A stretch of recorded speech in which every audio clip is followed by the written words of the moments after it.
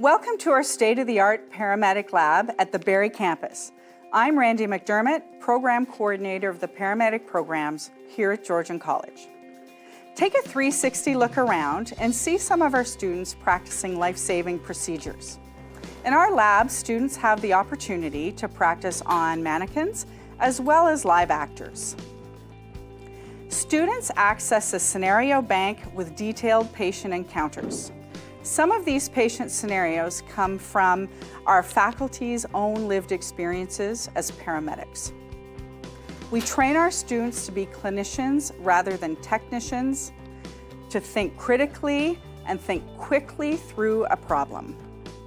This is very important because not every patient fits the textbook description of a medical condition.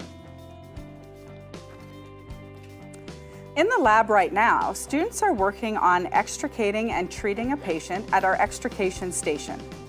We're fortunate to have a resource like the car simulating a collision. Students extricate the collision victim, assess for critical injuries, and assess the patient's vital signs. This includes blood pressure, respiratory rate, heart rate, skin, pupils, and temperature. With our small class sizes, students get the opportunity to practice often and build their capacity and knowledge base. We also make sure it's a safe environment for our students to make their mistakes and learn from them. Other students are practicing their cardiac arrest protocol as well as their symptom relief protocols, and they're being supervised by some of our faculty. We make student experiences in the lab as realistic as possible.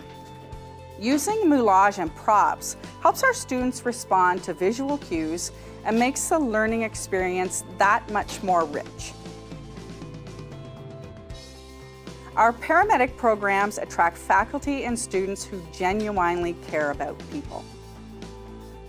This helps us form an inclusive and caring environment here at Georgian College. If this sounds like you, please reach out to us. We look forward to speaking with you.